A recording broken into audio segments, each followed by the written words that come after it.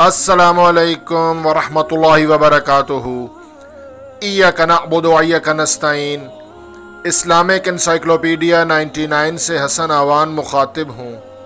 नाजरीन, आप स्क्रीन पे सूरत यूसुफ अलैहिस्सलाम देख रहे हैं और आयत नंबर चौरासी और इसकी आगे की कुछ आयात, उनका मफहूम ये है कि सैदना याकूब अलैहिस्सलाम जो कि हज़रत यूसुफ अलैहिस्सलाम के वालिद हैं, उनकी बिनाई चली जाती है। हज़रत यूसुफ अलैहिस्सलाम के गम में रो रो के उनकी आँखें सफ़ेद हो जाती हैं, जो कि आज के दौर में मोतिया जो आँखों का मर्ज़ है, उसकी तरफ़ इशारा है और उनकी बिनाई ज़ाया हो जाती है।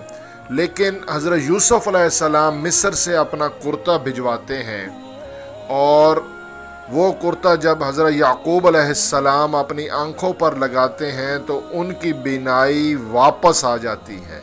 सुबहान अल्लाह तो आज के दौर के डॉक्टर, मैं आपको दिखा देता हूँ गूगल पे। अब्दुल बासित मोहम्मद। नाजरीन, मैं आपको, ये देखें, मेरा वाईफाई कनेक्टेड है। और मैं आपको रिफ़्रेश करके भी दिखा देता हूँ। गूगल का, ये देखें। Medicine medicine of Quran eye drop ये मैंने सर्च किया गूगल पे तो इसका आंसर आया medicine of the Quran eye drop doctor Abdul Basit Mohammad ये एक इजिप्शियन आई स्पेशलिस्ट डॉक्टर हैं रिसर्चर हैं।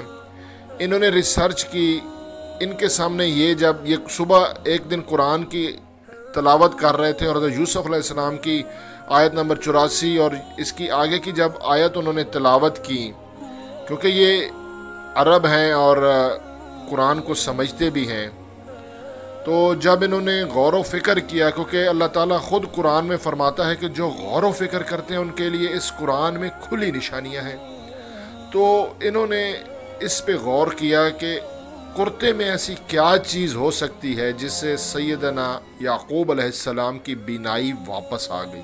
क्योंकि अल्लाह ताला ने कुरान में इसका ज़िक्र किया तो इसमें कोई ना कोई हमत ज़रूर पोशीदा है।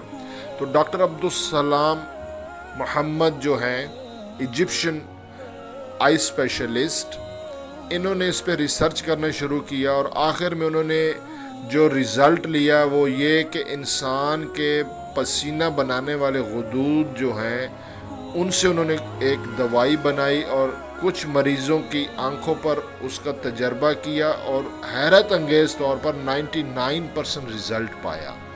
और मोतिये के मरीज़ बग़ैर ऑपरेशन के उनकी बीनाई ठीक हो गई। तो ये इसीलिए उन्होंने इसका नाम रखा है मेडिसन ऑफ़ द कुरान।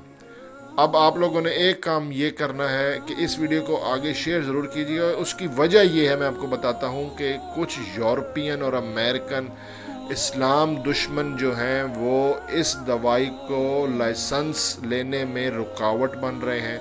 क्योंकि इसका एक तो नाम जो है, वो है Quran, medicine of the Quran. और इसके पीछे एक इस्लामिक रिसर्चर जो है वो हेड है तो वो इसमें रुकावट बनने की कोशिश कर रहे हैं। इसका पेटेंट नंबर जो होता है यूरोप और अमेरिका में लाइसेंस लेने के लिए, उसमें रुकावट बन रहे हैं। इस वीडियो को ज़्यादा से ज़्यादा शेयर करें ताकि पब्लिक तक ये बात पहुँच सके, क्योंकि हमने तो अपना हक अदा करना है। हमारा तो कुरान पे आँख बंद करके ईमान है, अल्हम्दुलिल्लाह मुसलमान हैं। लेकिन अंग्रेज़ों के जेन में ये है कि जब ये बात आगे जाएगी और लोग तहकीक करेंगे कि इसका नाम है मेडिसन ऑफ़ द कुरान तो आगे जब डेप्थ में इसका मज़ीद पूछेंगे तो ये बात सामने आएगी तो उनका ईमान होगा और मज़ीद वो कुरान पे रिसर्च करेंगे कि 1400 साल पहले अल्लाह ताला ने कुरान में ये वाक़ बयान किया और ये हमारे लिए फ़ायदा है तो लोग मुसलमान ना हो जाएँ। तो ये जो मुसलमान दुश्मन, इस्लाम दुश्मन कुछ क़वतें और ताकतें हैं, वो इस दवा को मार्केट में आने के लिए रुकावट बन रही हैं। तो मैंने समझा कि इस पर एक वीडियो बना लेते हैं। कुरान के मौजाद पे मैं वैसे भी पिछले कुछ दिनों से वीडियोस बना रहा हूँ। आप वो वीडियोस भी देखिएगा। इन आपके इलम में भी इजाफा होगा, आप इंजॉय भी करेंगे और इस वीडियो को शेयर ज़रूर करना। ये सदका जारिया है, कुरान की तालीम को आगे फैलाना बेहतरीन सदका जारिया है। जजाक अल्लाह हाफिज़।